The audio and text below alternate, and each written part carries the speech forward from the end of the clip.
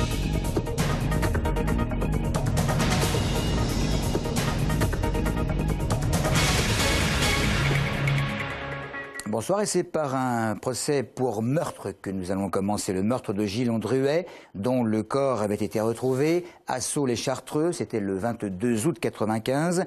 Un jeune champion d'échecs tué à coups de batte de baseball enveloppé dans une alaise sur laquelle les enquêteurs devaient trouver une trace de sang susceptible d'incriminer deux hommes, Sacha Roule et son oncle Joseph Liani. Deux hommes présents à ces assises de l'Essonne depuis hier, le premier en tant qu'accusé et l'autre en tant que témoin, Maxime Lemaine se trouvait au tribunal. Le meurtre aurait pu avoir lieu en ma présence. Moi, j'étais dans mon lit en train de dormir, assommé par des médicaments contre les problèmes cardiaques. C'est en substance ce qu'a déclaré devant la cour d'assises Joseph Liani, l'oncle de l'accusé, qui comparaissait aujourd'hui comme témoin. Maître Dupont-Moretti, l'avocat de l'accusé, s'est montré surpris du dédouanement de l'oncle dans cette affaire, lui rappelant notamment que lors d'un précédent procès, il n'avait pas hésité à désigner clairement comme coupable Sacha Roule, son client.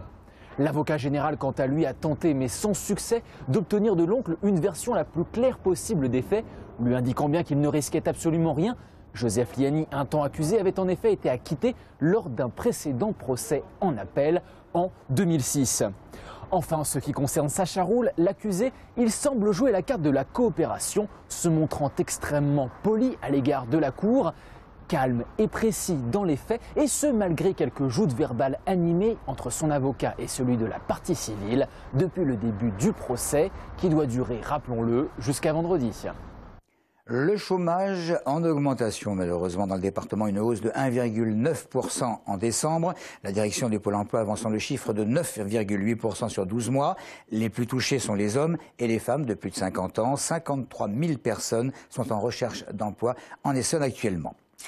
Politique avec euh, d'abord Thierry Mandon ce matin sur RMC, le co-dirigeant du Conseil de la simplification voulu par le chef de l'État, après avoir expliqué la nécessité de rassembler les différents intervenants qui aident les exportateurs français, a glissé quelques mots sur l'emploi.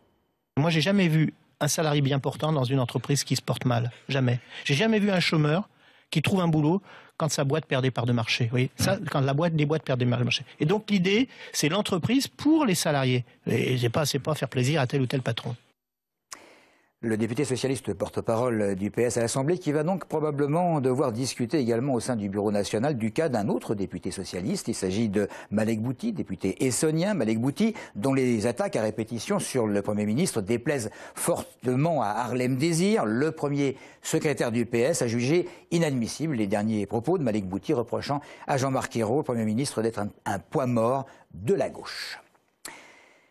Une confirmation. Étienne Chauffour se représente à la mairie de Juvisy-sur-Orge.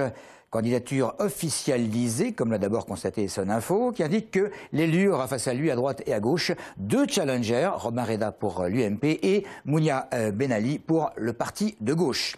Petit à petit, les listes se constituent pour le premier tour du 23 mars prochain, mais la question est de savoir, moins de deux mois avant le scrutin, si la population semble concernée ou pas. Moi, ce que j'attends, c'est d'avoir un maire compétent et qui réponde à peu près à tous les, les, les désirs, pas les désirs, mais aux, attentes des administrés, c'est tout. Hein. On nous en parle pas vraiment, donc on n'a pas de trop d'opinions à se faire. Pas le temps et je m'y intéresse pas forcément. Ce qui est important avant tout, c'est ce que font les élus euh, localement, plus que euh, une direction politique. Euh, bah, prendre en compte mes, mes, problèmes, que ce soit la sécurité, l'emploi au niveau de ma municipalité, mon confort de vie.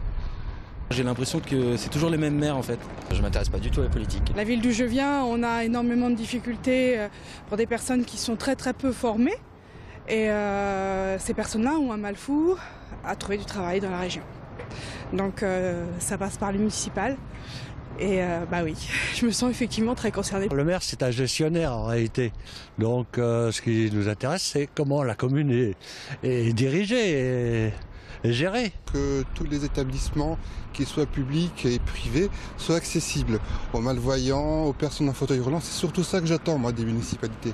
Il n'y a pas des gens compétents, il n'y a pas des gens à, à qui on peut faire confiance. Chaque année, c'est la même chose.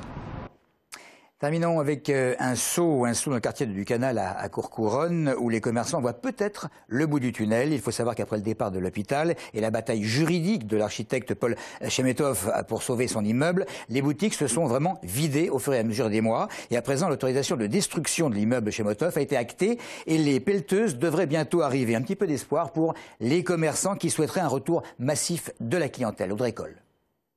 Ils sont quelques commerçants au pied de l'hôpital à être restés dans le quartier du canal. Des propriétaires qui ont vu leur clientèle désertée après le départ de l'hôpital et la désaffection de l'immeuble d'en face. Patrice tient le bureau de tabac et depuis des mois avec sa femme, il tente de survivre, de sauver son emploi. On a perdu, entre l'hôpital et l'immeuble Efilis, on a perdu 75% de notre chiffre d'affaires. C'est bien de le détruire au vu du nouveau projet. Après, s'il n'y a pas eu d'autres projets au niveau de l'hôpital, il aurait peut-être fallu le garder. Mais là, compte tenu du projet euh, immobilier qui, qui, devrait suivre derrière avec l'écoquartier, c'est une bonne chose. Je pense que c'est quelque chose de, de, louable, étant donné que la discussion de l'immeuble d'en face euh, donnera naissance à, 80, à 850 logements derrière l'hôpital. De grandes palissades blanches ont été installées autour de l'immeuble chez Metov, signe que la démolition va bientôt commencer. La destruction permettra une ouverture du quartier sur l'extérieur les commerçants sont évidemment pour, même si pour certains, il était possible de le réhabiliter. J'aurais préféré qu'il soit renouvelé, quoi. enfin rénové, je vais dire. Comme ça, on ne se trouve pas tout seul euh, dans le coin, quoi. parce que avant on est plus nombreux, et là, bah, on n'est pas beaucoup de commerçants finalement. Le chantier de destruction est pris en charge par la communauté d'agglomération Évry-Centre-Essonne et devrait durer jusque fin mai. Ce quartier devrait d'ici quelques années accueillir un écoquartier avec 850 logements. À suivre donc, euh, voilà pour euh, l'essentiel de l'actualité. Merci de votre fidélité.